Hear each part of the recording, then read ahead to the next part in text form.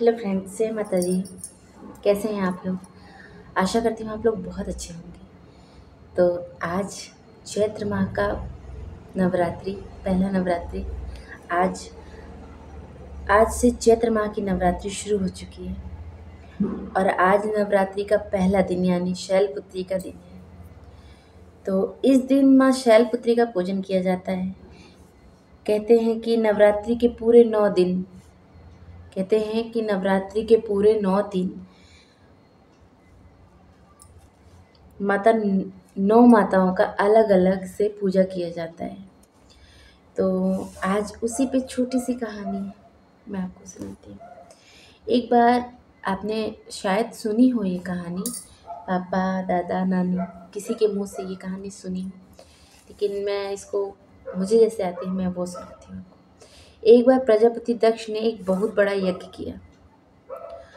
उन्होंने उसमें सारे देवी देवताओं को आमंत्रित किया।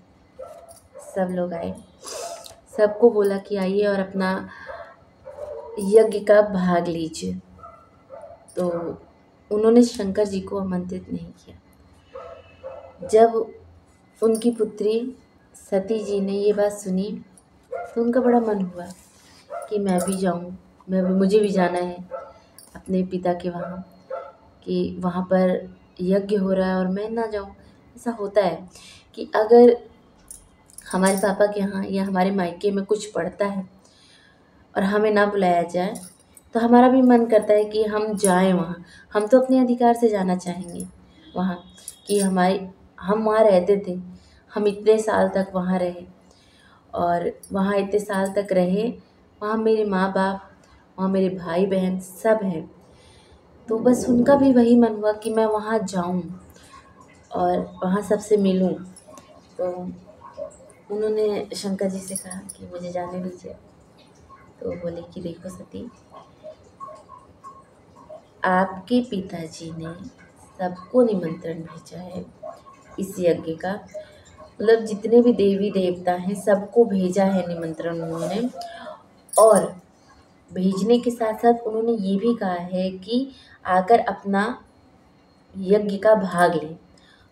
पता नहीं क्यों आपके पिताजी शायद मुझसे नाराज़ हैं या हमसे नाराज़ हैं तो उन्होंने हमें निमंत्रण नहीं भेजा है। तो बिना निमंत्रण मिले आप किसी के यहाँ नहीं जा सकते हैं। नहीं जाना चाहिए किसी के यहाँ।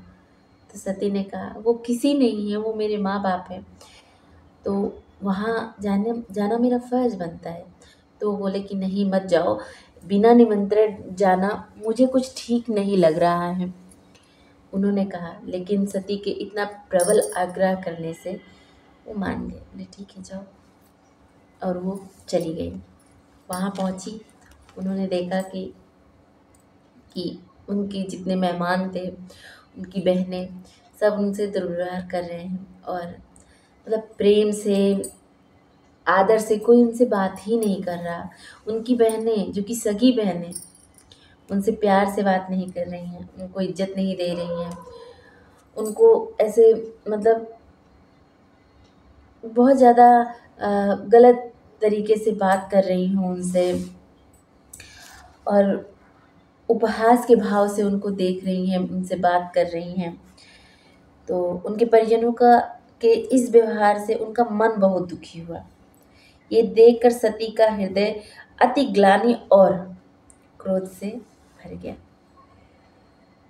तो उन्होंने सोचा कि शंकर जी की बात ना मानकर, अपने पति की बात ना मानकर यहाँ आकर मैंने बहुत बड़ी गलती कर दी है।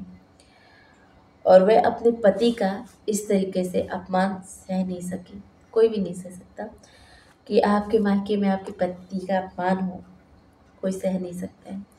तो उनको मतलब इतना क्रोध आया, उन्होंने उसी क्षण उन्होंने वह रूप त्यागने का निश्चय कर लिया।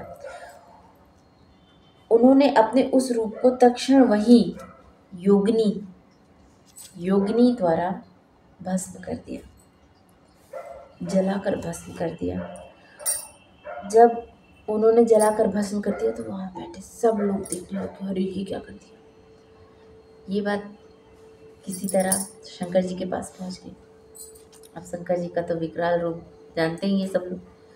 अब शंकर जी को आया क्रोध। बस, उन्होंने अपने गणों को भेजा और भेज कर कहा, तहस नहस कर दो। और उनके गण आए उस यज्ञ का विध्वंस कर दिया। मतलब उस यज्ञ में ऐसा कुछ नहीं छोड़ा जिससे वो यज्ञ कर सके। और ये सब करने के बाद जब ये सब हो गया और माता सती जल गई तो उन्होंने जब दूसरा जन्म लिया तो उन्होंने अपना दूसरा जन्म शैलराज हिमालय के घर में लिया और शैलपुत्री के नाम से विख्यात हुई। तो मतलब आज का जो दिन है, वो प्रथम शैलपुत्री का दिन है।